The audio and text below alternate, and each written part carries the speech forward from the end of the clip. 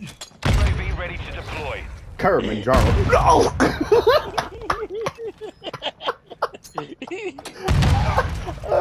you know you had a good idea.